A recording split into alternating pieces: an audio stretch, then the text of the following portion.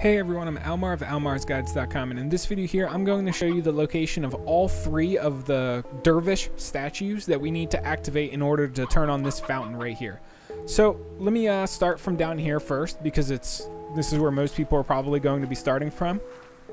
The first one we want to activate is right here in this hole. So we'll shoot it into him. And then the second one we need to activate is right up there on that ledge. But in order to get there we have to do some uh, parkour. So we get up here and then we're going to get onto this little uh, rock pillar. And then we're waiting for our energy and we'll fly over to here. Like that. Now, for the last one, we need to uh, run all the way up to where the fountain is. And this is the, the way up to the fountain.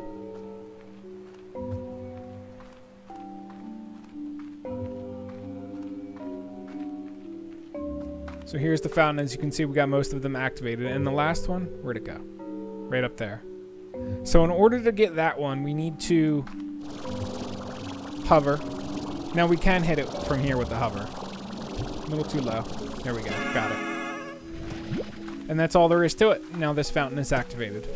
Hopefully this video helped some of you guys out. If uh, it did, leave me a like. Otherwise, uh, if I forgot anything, please uh, leave a comment below and let me know what I forgot. That way everybody else knows. And that's all there is to it. I'll catch you guys around in future Slime Rancher videos. Peace.